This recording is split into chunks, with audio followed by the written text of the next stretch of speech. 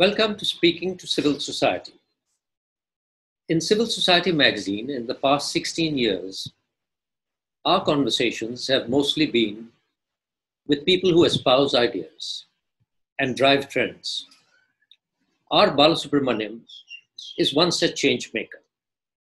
He's a physician by training, and he's worked in villages for, for decades. But he also knows a thing or two about companies. He knows a thing or two about raising funds for good ideas. He's here to talk about a social stock exchange.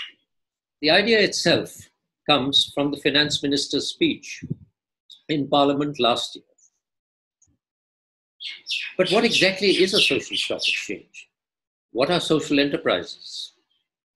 How will good ideas be funded in such an arrangement? Mr. Balasubramaniam has looked at the working of social stock exchanges across the world. He's done a detailed report. We're here to talk to him about what we can expect and how this arrangement is going to work. Mr. Balasubramaniam, you have done a very detailed report on the feasibility of creating a social stock exchange in India.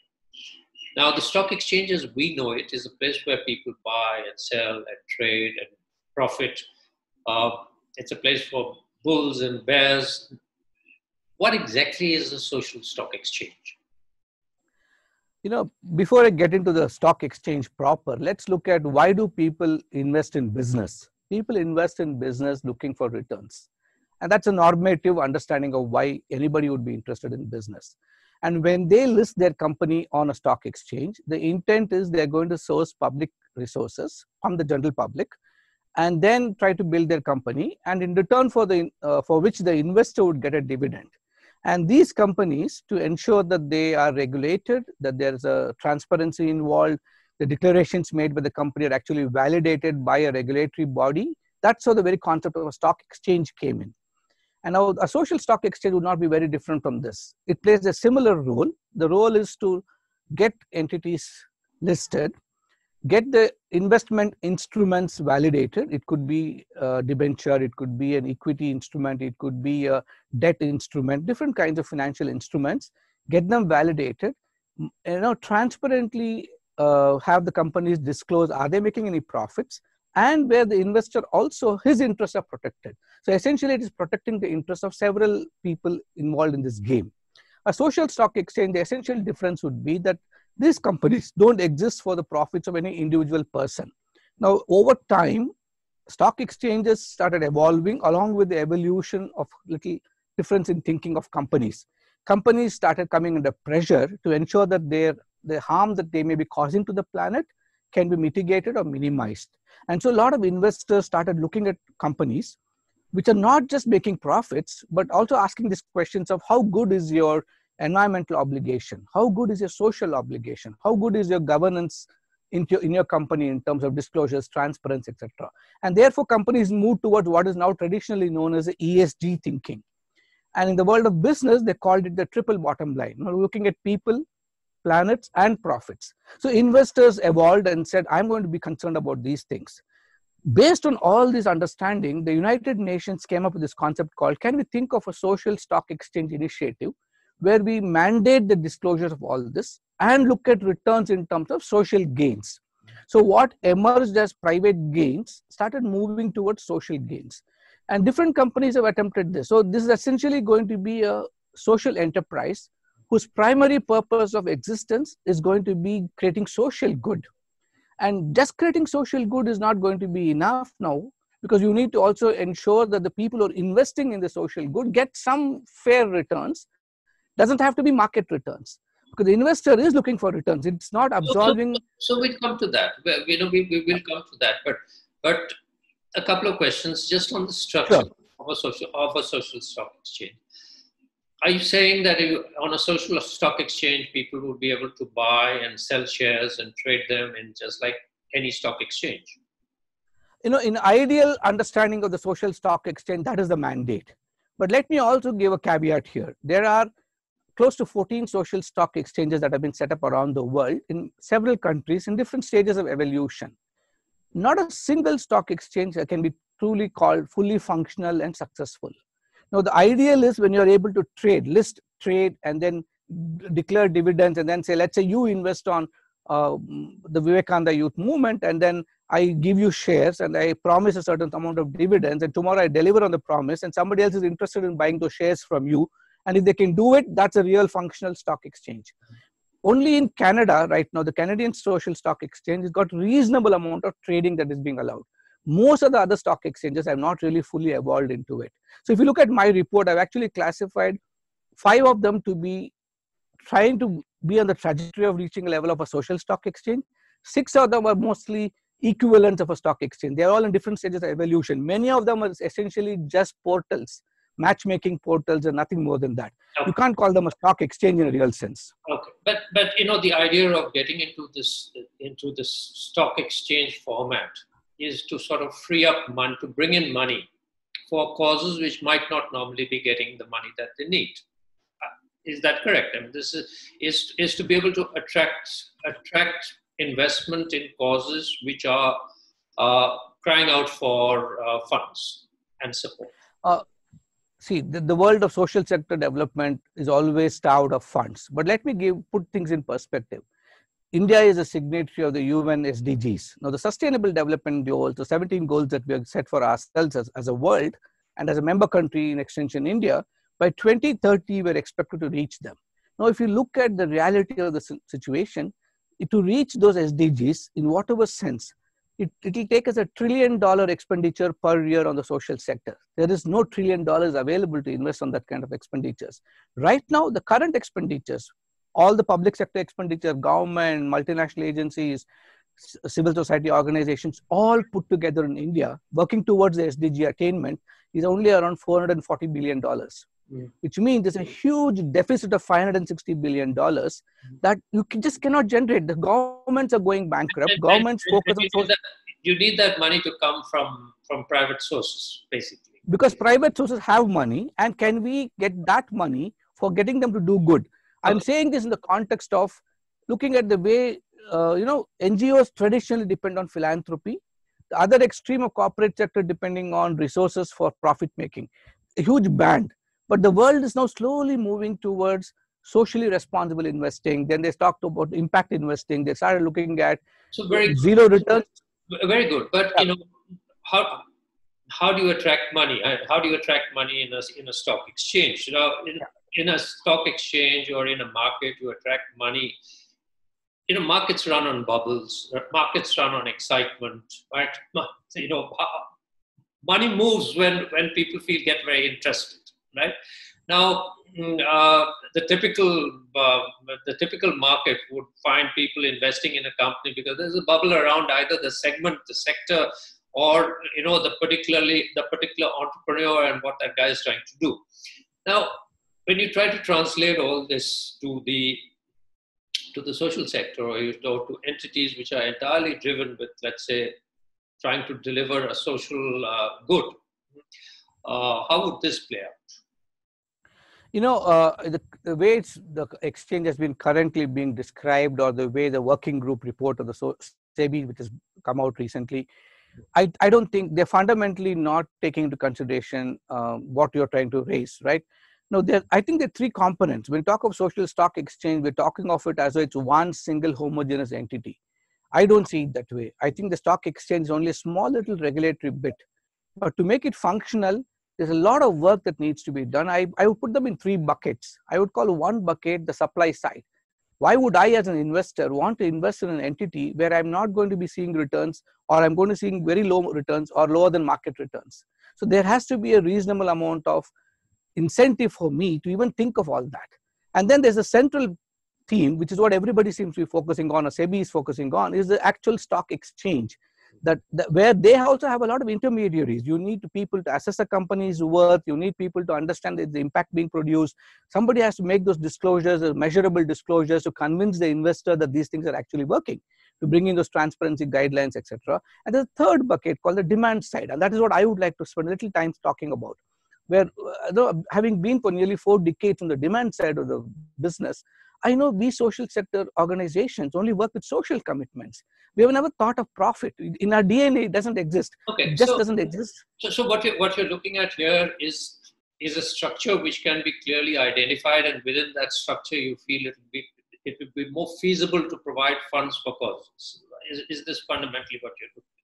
Yeah. Uh, uh what I'm uh, what I'm trying to say is to even reach a stage where an investor would have reasonable investor confidence in an in organization to even deliver social returns the delivering organizations the demand side which can absorb this money their capacities to first absorb money their capacities to look at impact and produce impact and their capacities to generate even if the social dividend may not be a financial dividend alone.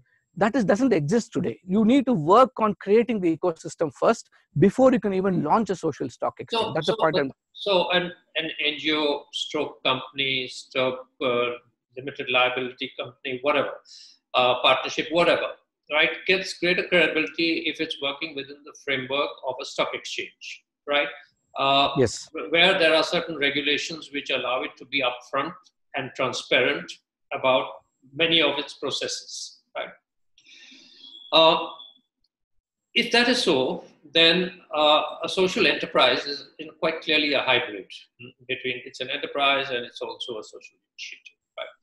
Now, uh, have you explored, you know, how something like this would be valued? You know, let's say a social enterprise comes in with comes to a stock market, a social stock exchange with, with an IPO.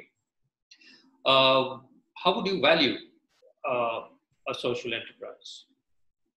You know, uh, I wouldn't, before you even get into valuing it, how would you even define a social enterprise? Because we, we, we use this word so uh, casually nowadays that we don't even understand that entity called a social enterprise is, is, is still an entity which has not been described under law in India.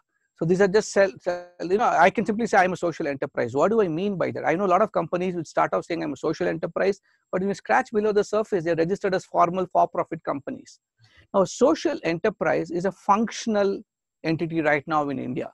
What I mean by that is I'm just saying I'm an enterprise, but I'm producing social good. But honestly, every company can say they're producing social good. Every for-profit entity can say I'm producing social good. Let's say a car manufacturer, he can say I'm actually enabling transportation of people. I'm moving people from point A to point B, which is social good. So we cannot justify that. You can't go just by a functional understanding of a social enterprise. There has to be a legally mandated understanding where different countries are defined it differently. Like I myself brought it in my report, 62 different definitions currently in use around the world. The closest I would recommend is either the definition used by the British or we generate an Indian social enterprise definition where we look at profits that an entity generates and plows it back into the social good it is doing without declaring dividends for any individual investor. That could be one extreme understanding of social enterprise. May not be practical very much because people may not invest if I'm not going to see returns for myself. So what we are saying is the promoters don't get any returns, but an investor might actually get less than market returns and he gets he gets to see social good now here it comes it's a dicey uh, situation. No ngo every ngo says we are doing good. I've been in the ngo sector for like i said four decades. I will never come out and say i may not be doing good. We all declare that we're doing good. But what is good? How do we measure good these are very uncomfortable questions which we in the sector themselves are not asked. So yes. one is to measure a social obligation. One is to measure it in a way in which it can translate as a monetizable commodity hmm. for an investor to understand is it actually generating good the way i want it to happen? Yes. That is the journey we ngos have to take first. And so i would say define the social enterprise. And my nervousness is sebi right now in its working group report no, so, has deliberately refused are, are you saying it is a challenge to value social enterprises? A challenge to value social enterprise, if you have not defined what is social, what is enterprise, put it together and make a legally mandatable obligation of that particular entity. For example, as a non-profit, let me tell you the, just give an example for that. As an NGO today, I run a hospital, I run schools. We charge fees, we charge patients money our re returns are pathetic. Like, you know, if I spend 100 rupees, I get back 40 rupees from all the expenditure. So 60 rupees is still donor dependent. I have no choice. Hmm. But I'm allowed to raise 40 rupee revenues because they're health and education activities. The law permits it. But I run a training institution. I run a research program. In those organizations, the law is very clear. I cannot generate more than 25% of my total revenues as user income. Now, the India's definitions are so very suffocating in terms of tax laws that yeah. the moment I have more than 20, if I generate the 26th rupee, I'll have to be shut down as a not-for-profit entity. Now you say I have to become a social enterprise, give dividends. How would I do it if the legal framework doesn't permit it? So you need so have a, a lot of work to do. You, you need you you need a new and and universally acceptable definition of what a social enterprise is legally valid and lot of policy changes and taxation law changes all of it have to go first before you talk of a stock exchange. See my concern was when the finance minister announced the setting up of a stock exchange i think a little more homework needed to be done in what is the social ecosystem that has to exist first before the system is ready to absorb a stock exchange. If, my worry is if, even if you if you today had a definition of a social enterprise uh, whether you do or you don't, the, the yeah. question of valuation still remains. You know, even if tomorrow okay. you do, if, if, even if tomorrow you do have a clear definition of social enterprise which says you can use 100% of your user charges for your cause, uh, the question of valuation would still remain. Uh, how, how, how would you value something which is social and enterprise together, right? Which would take predominance, right? And uh, how would an investor be enticed or, or, or made interested in a company like this on what particular basis? See, uh, valuation principles exist around the world whether it is the there's the impact investment council which is brought about how do you measure impact? How do you actually monetize it? How do you look for the investor's perspective? There's that gain uh, network which also looks at all these things. Those things have actually been defined globally. There are certain standards established. But the, what we shouldn't forget, the moment is a social enterprise, is the primacy of the organization's existence is social. So you're trying to not just balance the profit logic with the social logic, but there's a primacy of the social logic. And that valuation is very critical when you're valuing it. So we need a new way of thinking for valuers. We new, we new breed of assessors Hmm. who are competent in understanding how to measure social impact. Now, what SEBI or any of these professional for-profit stock exchanges have today are market valuers who are actually used to the inter- enterprise part of the system. Now, either they need to be trained or retrained, or we need to have a new brand of assessors valuers. The standards are very clear, who are trained in these and then actually deploy them to measure before they come into an IPO. So, okay. those tools exist. Okay. Okay, so so you you you you you need a whole bunch of uh, people and skill sets to be able to do this. And, Absolutely. And and also you need an audience which is going to appreciate those skill sets and and and the assumptions being made under those. Two questions here. One is that a large number of businesses today are driven because of the social values they they put forward or that, that they use to define themselves. A lot of companies have begun as socially driven companies and ended up being hugely valued. Right? Uh, Body Shop was sold in billions, hmm, and uh, there are many more examples. Hmm. There are any number of larger companies today which are operating in multiple segments and, and, uh, and, and technologies, which depend on on generating community interest, generate, uh, uh, project their social values, so on and so forth. If you move from the IPO to the secondary market, right, where a company which has done a good job at being able to project itself in this way, acquires a value which is way beyond what was originally perceived when it was a social enterprise strictly within these, these definitions. What happens? What happens in a secondary market? What happens to this company, which has been hugely successful beyond uh, its own social goals and actually multiplied its commercial possibilities? You know, these are all these are all questions which have to be uh, tested as we go along. Like I, I really don't have a spontaneous answer, but these are really troubling questions, and that is exactly the reason why we need to get this whole concept clear first in the first place Right now, it is so gray and ambiguous that it opens itself up to all these challenges. And the urgency with which we're going about setting up the exchange, my fear is they're only focusing on the investor logic. They're not focusing everything that you're raising now. So if I'm going to only be uh, using, and then uh, there's a danger. I say actually, as much as I am a votary of the social stock exchange for finding resources to do social good, my fear and concern is it's being used as an instrument possibly to have two kinds of two or three kinds of impact, which if it's not thought through can emerge. The first impact is does it mean that the government is absolved of its social responsibility? Is a primary question that I would raise. Mm-hmm. Now, just because I get private sector investment, does it take away the mandate of any government exists for its citizens and its people? Mm-hmm. And the social sector investments are going to, is it going to further disappear or come down or be an excuse for the government to further reduce it? The second difference, the second challenge I have is the ecosystem is altering rapidly and we are promoting like if the proposed draft changes to the CSR Act is actually implemented by the government, it virtually eliminates societies and trusts from the ambit of receiving CSR grants. And uh, there's a huge effort to promote Section 8 companies as a vehicle to be doing social, develop, social sector development.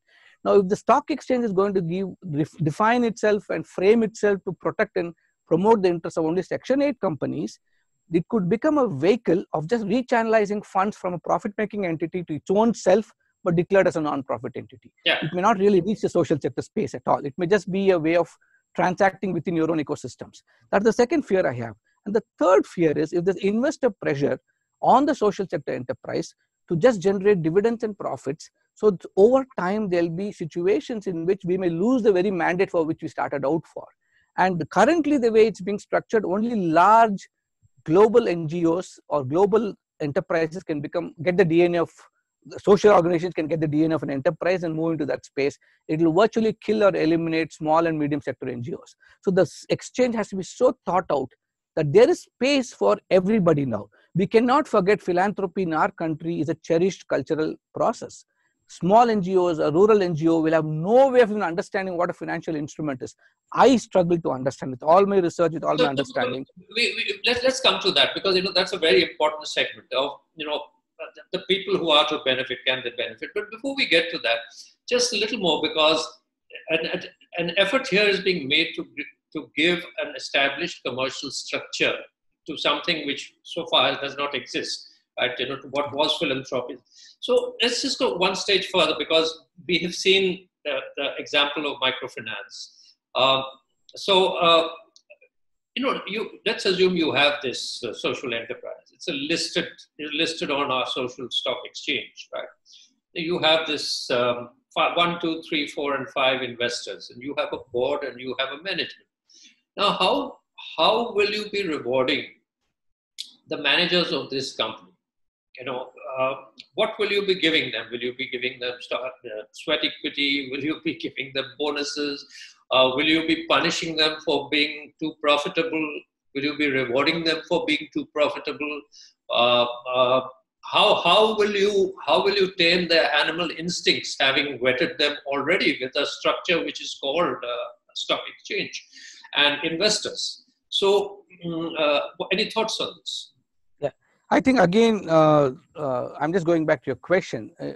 even when you question this, you're already making a premise that the stock exchange is going to be set up. And that's that's my fear. That's exactly the fear in terms of the, the construct for india.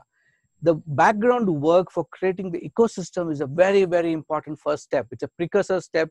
I believe we're three to four years from a stock exchange if you don't do that work.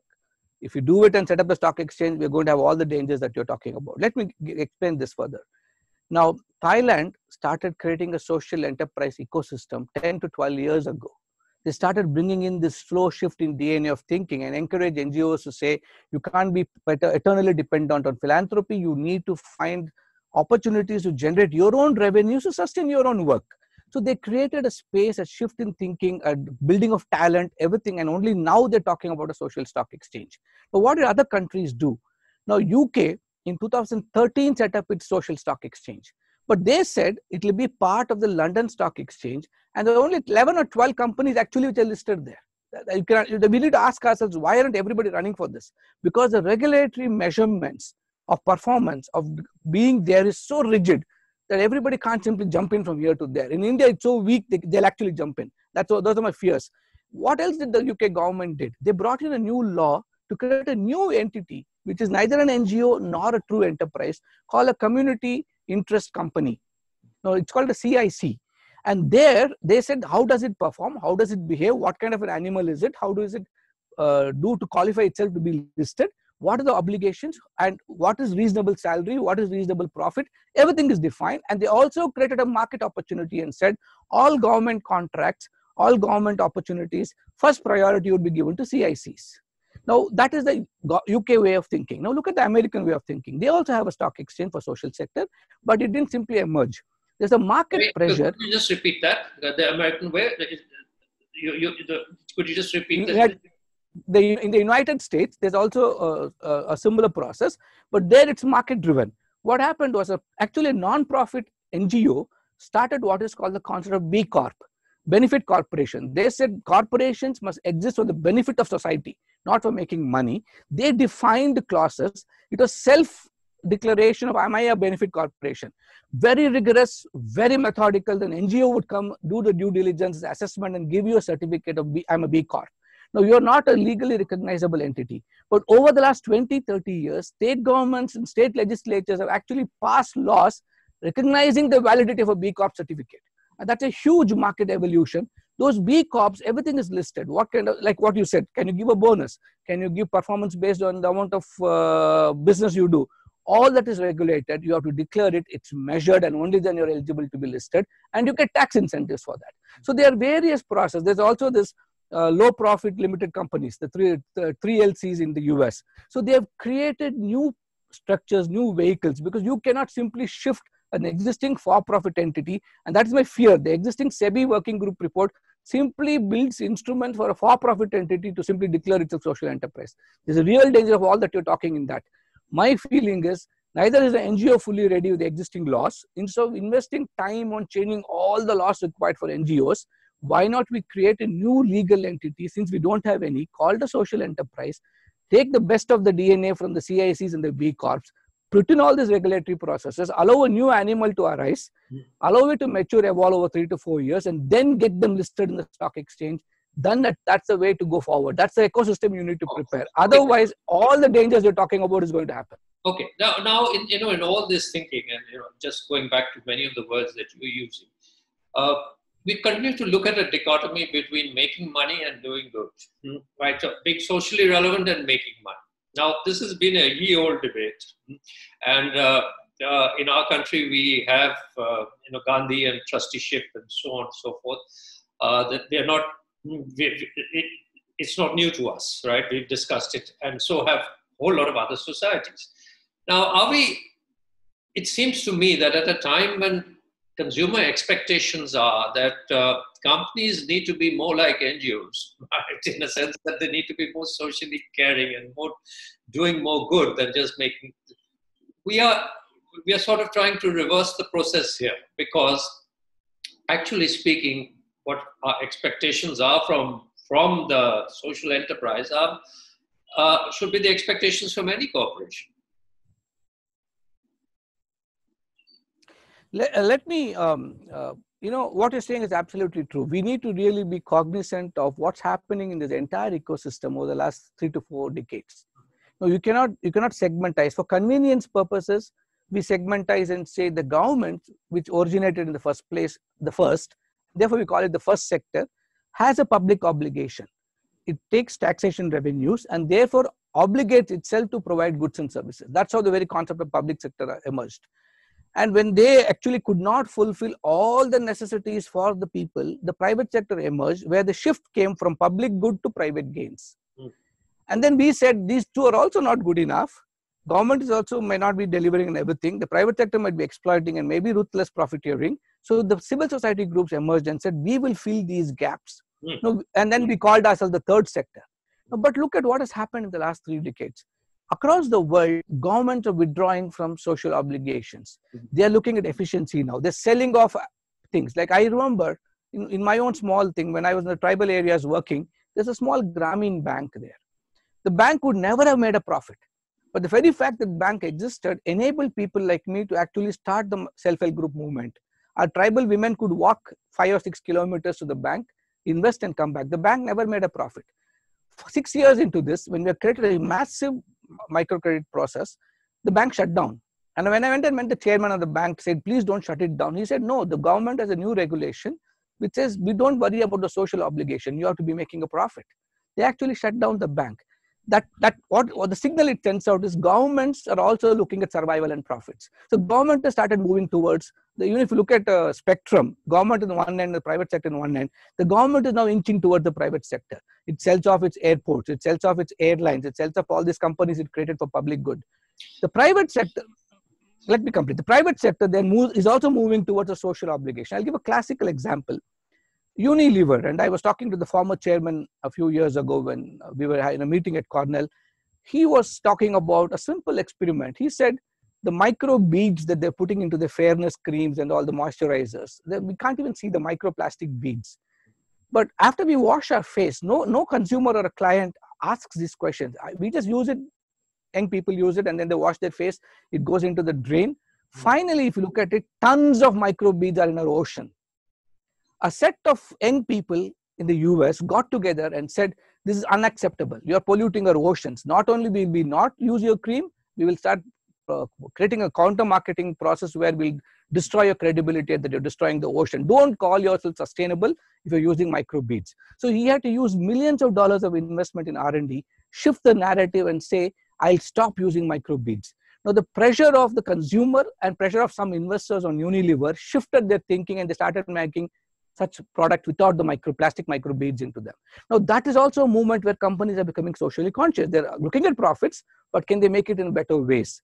Now, if you look at the NGO sector like ours, we were perpetually dependent on philanthropy. Yes, the shift I'm asking is we need to move towards the intersection of philanthropy and finance.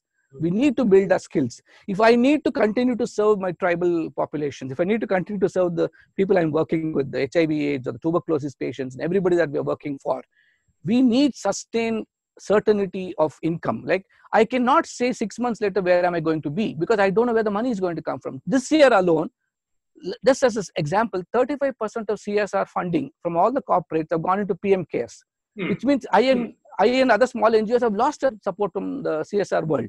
The uncertainties are increasing, but I can't stop telling people that don't don't come to school tomorrow or don't worry about your uh, don't take your tuberculosis medication tomorrow because i don't have funding i'm obligated to complete the social good i've begun hmm. which means i have to find ways of sustaining myself so i'm moving towards sustainability i'm telling people as you get out of poverty as your ability to pay comes in you start paying for my services too. I will not make a profit as a commitment i give. If my services cost 10 rupees i'll take 10 rupees from you. Till you reach 10 rupees i'll create a safety mechanism where you can you'll still get treatment but you don't have to worry. So we are all moving towards what i called an emerging fourth sector. Mm-hmm. a fourth sector which has actually got the best of dnas of all these three. The best dna of public sector and public obligation a social commitment that the ngos can bring in and the efficiency commitment that the for-profit world can bring in this is the only sustainable way of ensuring societal movement this will ensure that we care about the planet we'll care about people or profits and I bring in the fourth P as an obligation, peace around the world. Equity can happen and we can ensure fairness, justice, and all this. Everybody gets rewarded for the benefits they create. So, can we move a new entity which focuses not profit maximization but benefit optimization? And those are the companies that deserve to be listed in the stock exchange, deserve the support of the private sector, and they can deliver benefits to everybody. Okay. Now, now you know, all this is dependent on the fact that there are a whole lot of other people with the money who agree with you. Mm. Uh, uh, I, am not. I'm not sure you would be too confident of that yourself. Uh, do, is there really a demand for such a system in in the pure form in which you talk of it?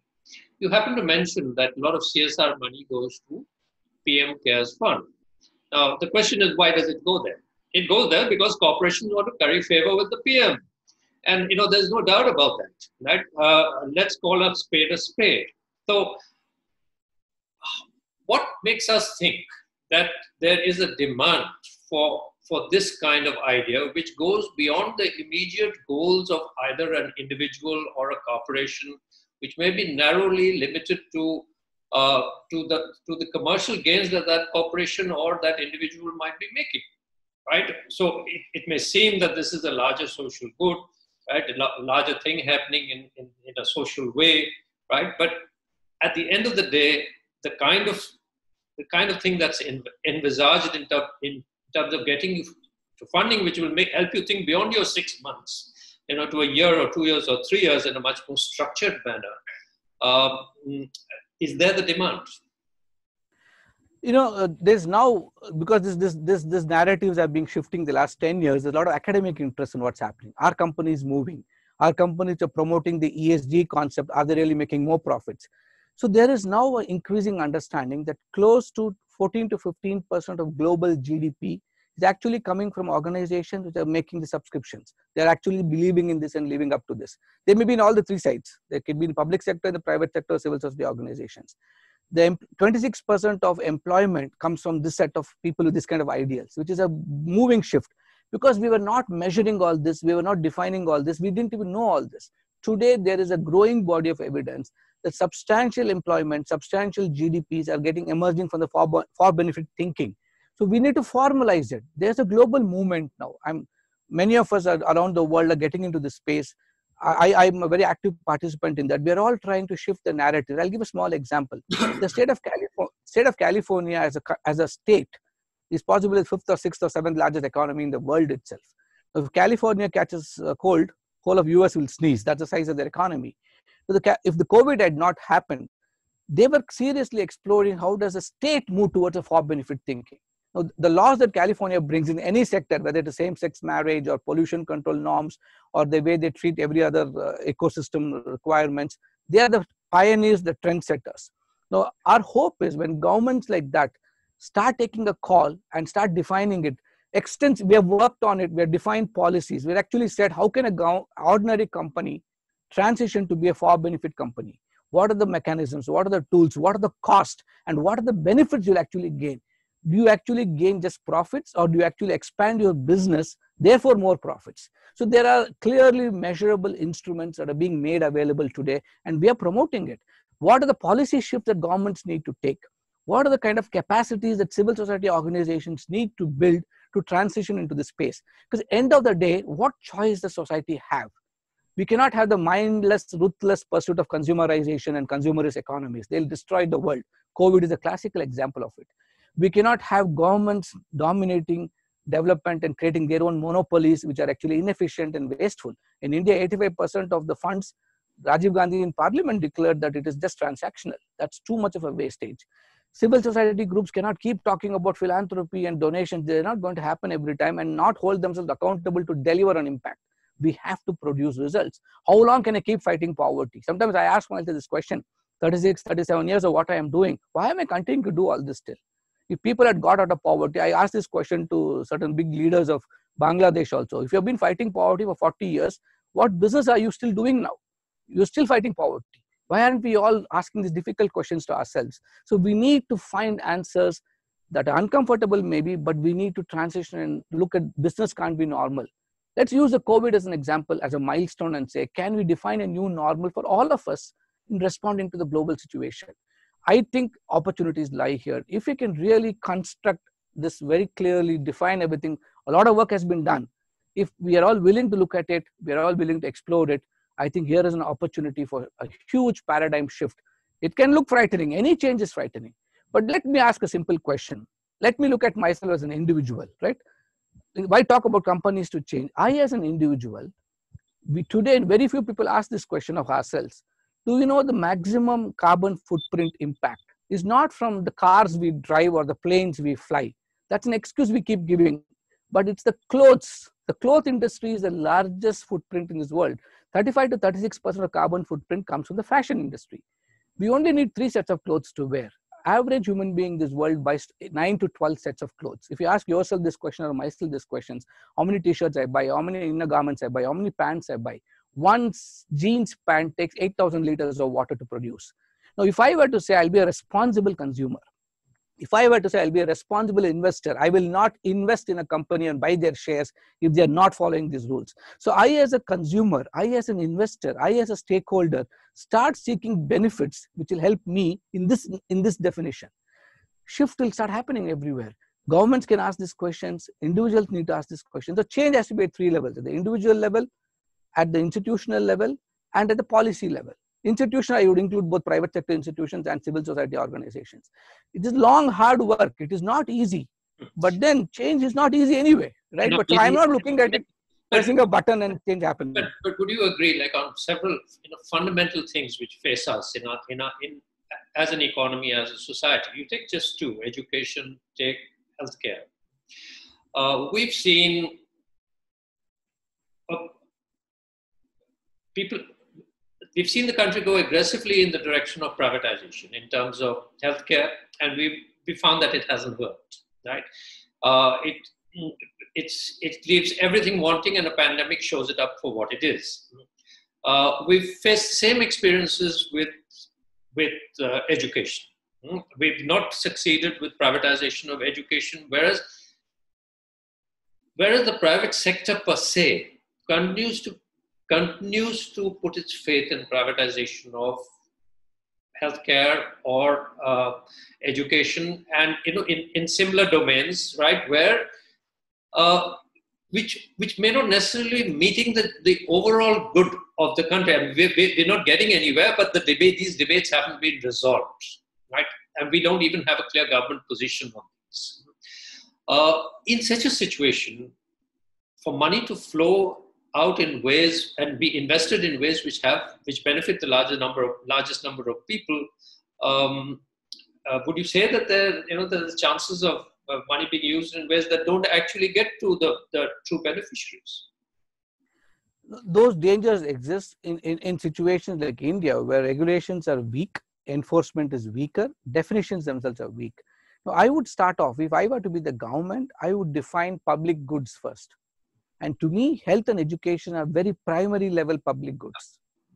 And, and you, they, even permitting privatization of public good, I would go with a lot of thinking. Let's look at how is, how is the UK, a fairly well developed country, fairly responsible citizenry, though it's a huge expenditure on NHS, very cr heavily criticized. The government is criticized for the amount of money it spends on national health services.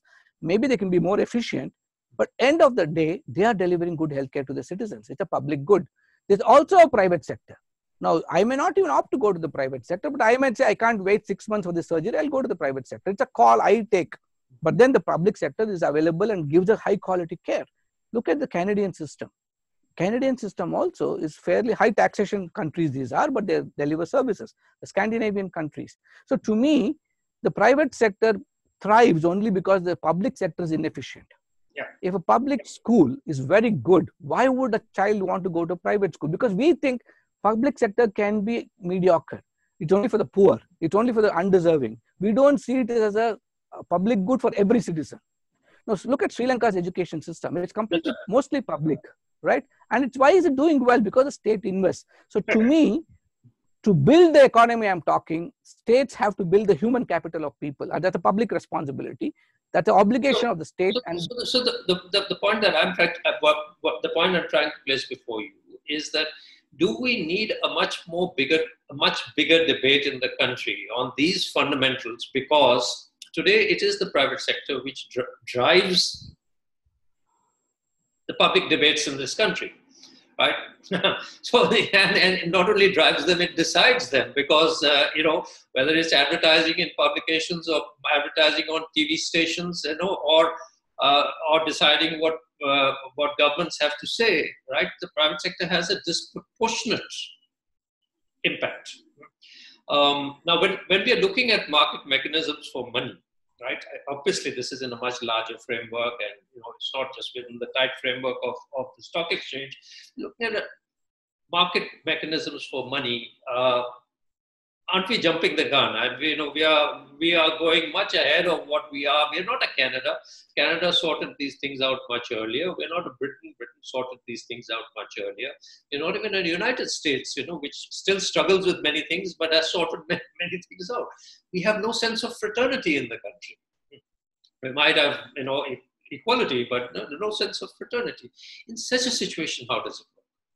You know, should, should we be debating all this before we are debating a stock exchange? No, I, I absolutely agree with you, and that's my fear. My my my reason to jump into this narrative and the discussion was the announcement was made. Now, I see a budget document as a policy document of the state. Once the budget is approved by parliament, that is the law of the country. So when the stock exchange has been announced, whether you and I like it or not, the government is going to set it up. And uh, something which has been set up in a hurry without all this kind of thinking and discussion will possibly fail. And then my fear is five years down the line, 10 years down the line, any government in power will say, we tried that experiment, it did not work. and we lose out an opportunity of trying to find private resources for public good. So my fear and the reason why I joined into the conversation was now that we announced it, at least can we wait to work all these things through? Spend the next three to five years in thinking through, putting the systems in place, putting all these discussions in clear, clarified, defining all these terms, eh, including public good, etc. Define the responsibility of the state. I'll give a small example why I'm why I'm really anxious and nervous. SEBI sets up a working group. Most of the members are from the finance sector. There's no social sector representative there at all. Yeah. There's nobody even to say what the hell is social sector. The government is the primary stakeholder. The Ministry of Corporate Affairs, they just casually write a statement. We invited MCA for the meeting, they did not turn up. Now, that is not the way you look at a report. You something so primary and such a paradigmatic shifting in the country, you cannot but go ahead without the government's blessing. The Ministry of Corporate Affairs had to be an invested stakeholder in these narratives. So my fear is we're going to end up with something which is going to be only promoting private interests. And those fears are real. I'm not even exaggerating them. Whether you and I like it or not, whether we can shift the narrative or not, elite capture is a reality in most countries. I'm not just saying India. Every major country, there's an elite capture. I'm worried that the social stock exchange is also going through an elite capture. And then we lose the entire narrative of social sector development itself. Those so are real fears money, of mine. More money, money moves away from good causes. Yeah. So uh, those are not unfounded fears. We need the debate. So I've been, I've been, I, you know, I have, I have commented to SEBI. I've sent them my reports, and I've said that please keep this debate going. You can't give a week's time and say comment and we'll just uh, look at the comments. Six months of national debate should happen. Let's talk about it. These kind of conversations should be there at every level and then thinking through what needs to be done as a precursor. Draw out a roadmap. Have clarity on what you do when. Lead towards a social stock exchange, maybe three, five, ten years down the line. It doesn't matter. That, that can emerge later. But let a lot of background work first get settled. Because social sector development is too important to be left in the hands of just the private sector. Okay, so the whole social enterprise idea, as well as the funding of social enterprises, using market mechanisms, using private funding, it, it's not new, it's been happening globally. But the idea of a social stock exchange in India, in India, in its current form, where has it come from? Honestly, I have no evidential basis for this. I can only make a guess somebody must have read about it somewhere or UN must have put some pressure saying, you know, 2009, 10, we said you should all move in towards this, uh, these mechanisms. Somebody must have put up a note to the powers that be and then it got announced. But my belief is that, you know, when the United Nations announced their social stock exchange initiative, they looked at existing stock exchanges evolving or setting up cells within themselves to look at sustainability. Like the Bombay Stock Exchange has got a sustainable stock initiative cell. I've spoken to the MD of the Bombay Stock Exchange. He said, We already have something here. Why are we even setting up a new one? Then we have National Stock Exchange has something like this. So there's a lot of mechanisms for ESGs. There's a lot of specific focus on MSMEs. So a lot of preliminary work is being done. I think whoever decided to look at look into this has not seen all the work that's also happening in India. Seeing the lessons uh, that we can learn from them and then integrating them and asking, do we even need a social stock exchange? I, for one, strongly believe, it's my conviction that we need private sector investment for social development. But I need it to be regulated, I need it to be transparent, I need it to be ensured that the primacy of social sector doesn't disappear. I am for a social stock exchange, let me clarify that. But it is premature, is what is my concern. We have not got our act together. Let's not blame the exchange after it failed, saying that the exchange failed. Maybe we need to blame ourselves because the ecosystem has not been created. We have to invest on the ecosystem. That is hard work that's a decade long work, in my opinion. And in India, it's going to be much longer because a lot of things have to change. We have to understand that all the fears that you said, there is private capture, there is elite capture, there are a lot of narratives which are misdirected, there are a lot of foreign interests. We are not thought about it. The SEBI report talks about international investors coming into India. They are the largest investors. The, the impact investors in India are a handful, six or seven you can count. 74 to 84% of the investors are from outside. What happened? They're asking for FCRA law to be amended we are willing to look at an NGO, which is got FCRA recognition with suspicion, but we somehow think that we want to legitimize a social enterprise that's going to be uh, looking at international impact investment as okay for us. That somehow all these contradictions are there. We, if we don't resolve all that and jump into the exchange proper right away, I feel it might be a premature mistake which will cost a wonderful process to be lost because of a prematureness. So a great opportunity will go waste. Uh, That's my fear. That's my fear. Yeah. And okay, so now the final question. You know, there's little doubt that uh, we have this large number of NGOs, and interestingly, from your report, I find that a, a great many of them are actually private limited companies. Now, uh, this is very, it's a revelation to me, certainly. Um, but we have this large number of NGOs, and they are all working in the social sector in some form or the other, many doing excellent work. Uh, it's inherent in, in, in an organization which is setting out to do good that their processes may not be that great, right? And uh, uh, their methods may not be, uh, you know, sufficiently transparent. It's not necessarily that there's wrongdoing. Uh, it's in the hurly-burly of what they do. So there is a need to structure up better right? And uh, the, would they be able to uh, seize the opportunities given their current uh, status? Uh, would they be able to seize the opportunities that such uh, an exchange would offer? Because it would seem to me that they can't. As proposed today, absolutely no. I'll, I'll, even answer more personally. Will I be able to step up? No. We are a reasonably large NGO, maybe one of the largest in the state of Karnataka. I will not be able to absorb the financial instruments that are being proposed today. I can't even figure them out. So I worry. On one side, if you remember the CBI report to the court said that we are around 31 or 32 lakh NGOs, right? The SEBI looks at only organizations which are in the domain of the what they're calling information repositories, and they're even to call, name them. They're naming GuideStar, they're naming Credibility Alliance, and they're naming Darpan. Now, Darpan, as of last month, has only got 93,000 NGOs registered. It's a government of India portal. And if you're going to take that as information repository of India, 32 lakh NGOs already left out. So my fear is NGOs don't even have the ability to register themselves on Darpan, but they're doing a lot of good work. If you're measuring their good work, that's a different measurement. If you're measuring their ability to brand themselves, write nice reports, make flashy presentations, write out these great things to the corporate world and get the measurements done, give quarterly, quarterly reports, maybe many of them don't. Many of them may not even meet up to the standards. They need to build up their capacity.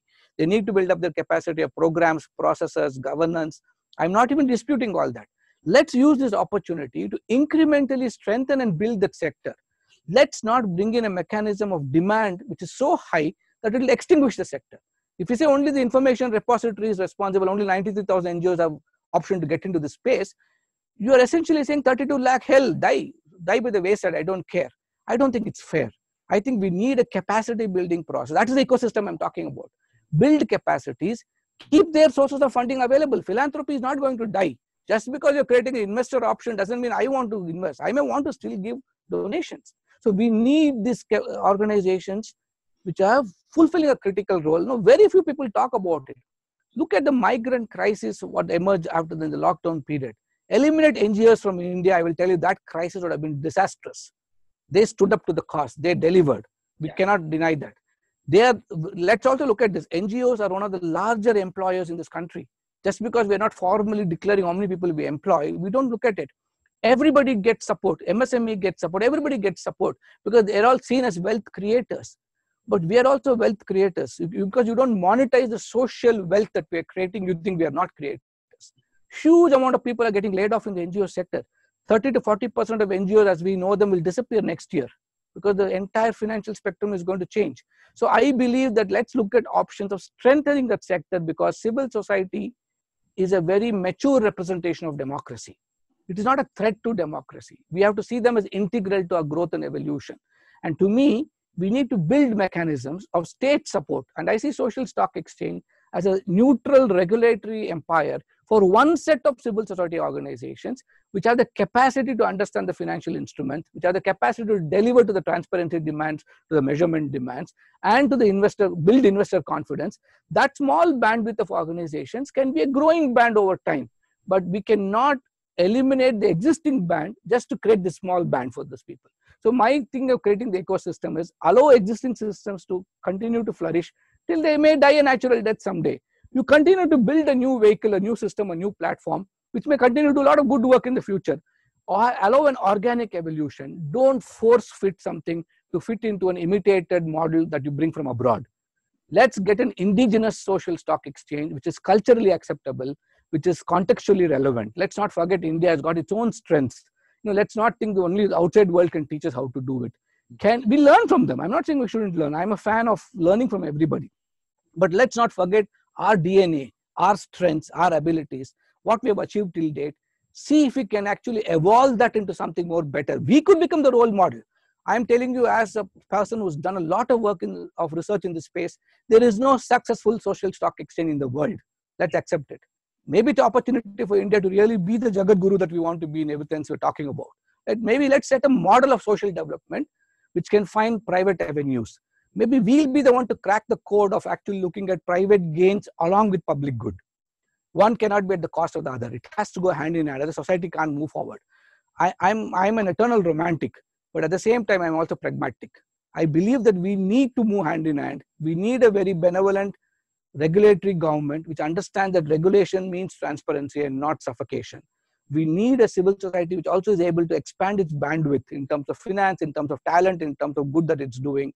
We need a corporate sector which also is socially responsible. Maybe the DNA of all the four can flow into the fourth sector, where we create a new vehicle called a social enterprise. I'm calling it an Indian social enterprise in my report with a DNA which is very particular to India. And I'm very confident if it's handled properly, it's a gold mine that we're sitting on. But if you don't handle it properly, it's something like throwing down a box of dynamite into the gold mine and you're going to shut the mine forever. So those are the fears I have. And I so might sound a little dramatic, but these are real fears of mine. Thank you so much. And it's lovely meeting you again, Balu. And it's a pleasure always to be uh, either writing for or talking to civil society because I believe you play a critical role in creating these narratives, in priming the audience to understand that we all need to ask the difficult questions.